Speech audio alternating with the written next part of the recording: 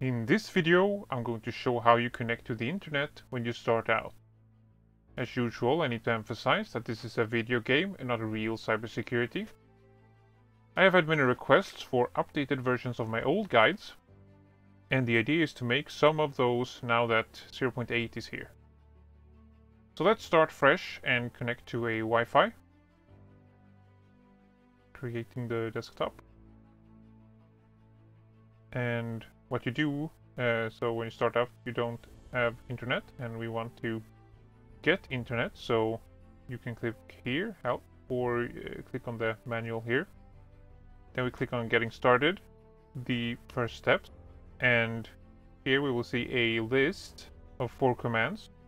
These are the four commands that are used to uh, uh, get access to a Wi-Fi, and they are used in the order that you see them here. So uh, to use them, we need to open a terminal. And the first one is airmon. So we type that, and if we just type it, it's going to uh, tell us um, which uh, interface we have. This is important uh, because it's used by the other commands.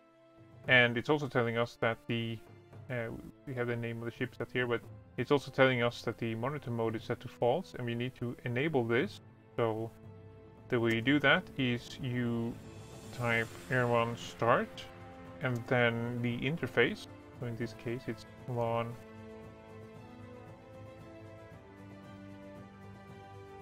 LAN 0 and now you can see that the monitor mode has been set to true. This will now allow us to use um, some of these. So, and the next one is iwlist. If we just type it, it's going to tell us how you use it. So, uh, like, like you can see here, um, iwlist LAN 0.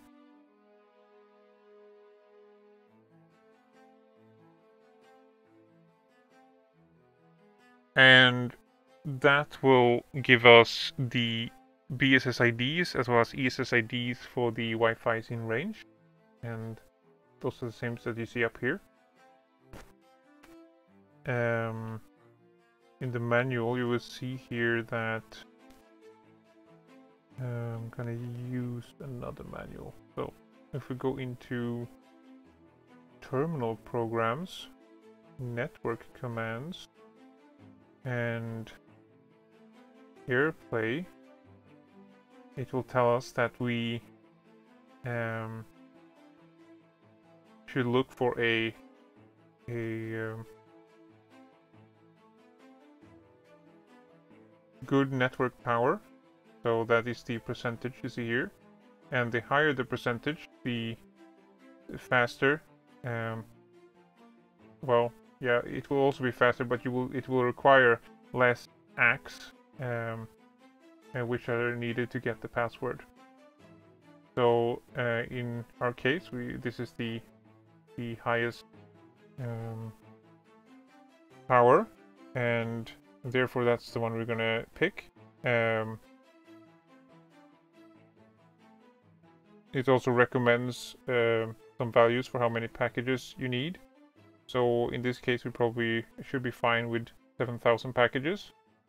Um, but okay, let's continue. Uh, that this is some of the information that you need um, when figuring out how to use the next command, uh, which is aireplay. And again, we can just run it and see the usage.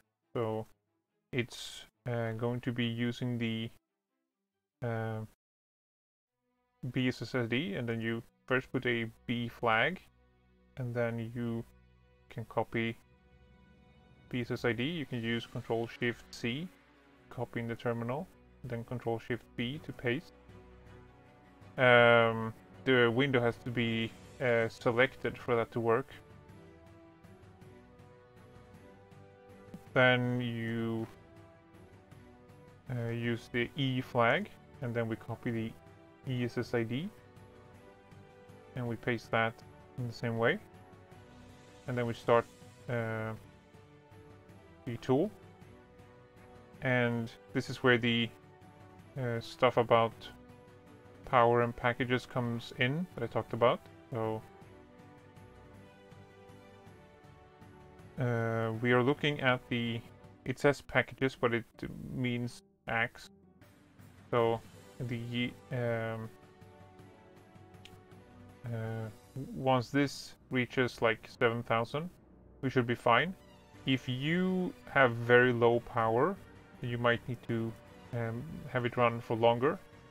Um, it says here like 20,000 ACKs for example. You can well you can see down here uh, when it's uh, when it has reached the number you control C. If you stop it too early and you're not able to get the password, you can just start it again and have it run for longer um, until the password has been found. So we're at over half. Um, might be good enough to do it at 5,000. I don't remember, but Let's get to 7,000 just to be safe.